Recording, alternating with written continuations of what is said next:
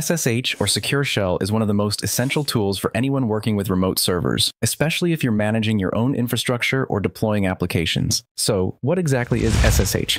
SSH is a protocol for connecting to a remote computer securely. This connection is established over an encrypted channel, which means all data sent between your machine and the remote server is protected from eavesdropping or interception. SSH is primarily used for remote command line access, file transfers, and tunneling traffic. It's often used by system administrators and developers for tasks such as server maintenance, application deployment, and troubleshooting. To understand how SSH works, let's break it down into a few key components.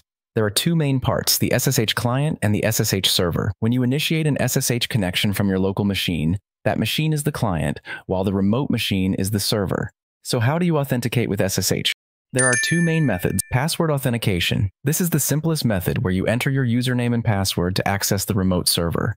However, it's not the most secure option since passwords can be guessed or intercepted. The other one is SSH key authentication. This method involves using a public and private key pair. Let's see how it works. First, the client generates a pair of SSH keys on their local machine, a public key and a private key. The private key is stored securely on the client's machine, while the public key can be shared freely with the server. When the client attempts to connect to the server, the server checks if the client has the public key. If the public key matches, the server sends an encrypted challenge, a random string, to the client.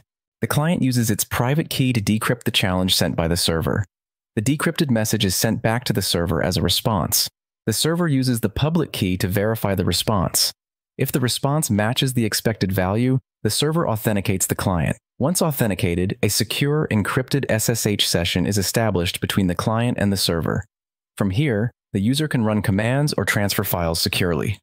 This is how SSH works. Thanks for watching.